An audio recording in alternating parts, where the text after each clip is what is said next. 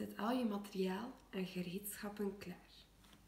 Begin met de ballon te vullen met bakpoeder.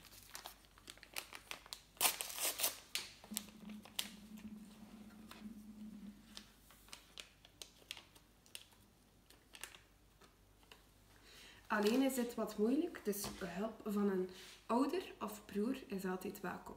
Wat ik doe, ik gebruik een tandenstoker om de bakpoeder zo in de ballon te laten lopen.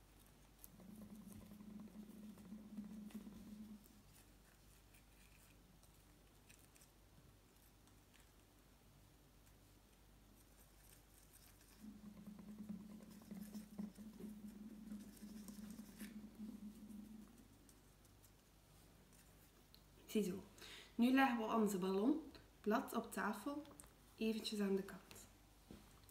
Normaal was ik nu mijn trechter af, maar ik heb er twee, dus ik gebruik mijn andere trechter voor azijn en zorg dat er een grondje azijn in mijn fles komt.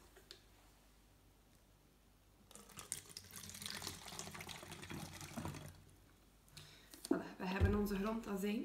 We bevestigen onze ballon nu op de dop hier kan je terug hulp. Is het terug gemakkelijker om hulp te krijgen van een broer of zus, mama of papa.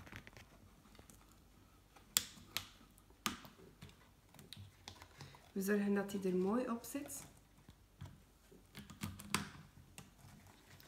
En voegen dan het bakpoeder bij de azijn.